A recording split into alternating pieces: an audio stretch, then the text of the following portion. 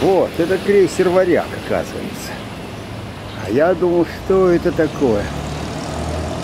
Вот теперь мы будем знать, как выглядит крейсер «Варяг» четвертого или пятого поколения.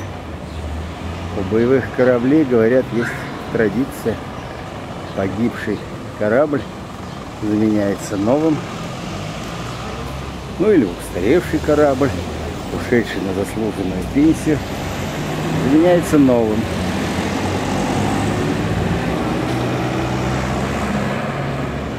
И вот это, по-моему, четвертое или пятое поколение варягов. Ну, наверное, в Википедии каждый может посмотреть.